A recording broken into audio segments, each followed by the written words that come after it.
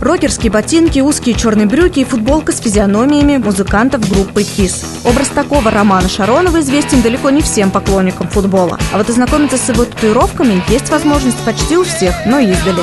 Телеканалу ITV представилась возможность разглядеть каждый штрих. Вот на икроножной мышце портрет Питбуля. Это не только память о любимом псе. Роману тату помогла справиться с травмой ноги. У меня была тяжелая травма правой, правой ноги, не проходила нога, не знаю, сделал, и после этого у меня все пошло по поправку, не знаю, может, такое сечение обстоятельств, но там еще есть надпись «Выживать сильнейший».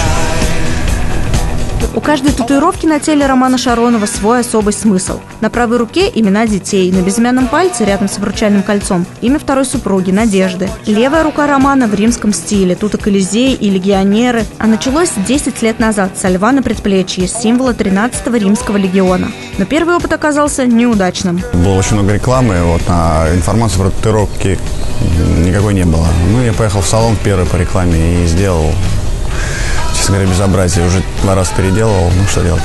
Мастер дел, конечно, не таких мастеров надо, не знаю, что с ними делать, потому что все-таки это на всю жизнь, а человек чисто заработал деньги. Заядлым татуировщикам известно, не меньше, чем красивой картинке стоит уделять внимание и качеству нанесения тату. Опасаясь за здоровье футболистов, некоторые клубы Бундеслиги полтора года назад хотели запретить своим игрокам рисование на теле. Э, любое повреждение кожных э, покровов, как и любая другая манипуляция, связанная с повреждением кожных покровов, может повлечь за собой соответствующее осложнение, э, нагноение, заражение. Мастер, который соблюдает все сопутствующие там, дезинфекцию, поэтому, ну, наверное, да, доктора опасаются, что может занести, но я тоже знаю про это и соблюдать все нормы медицинские выполнить.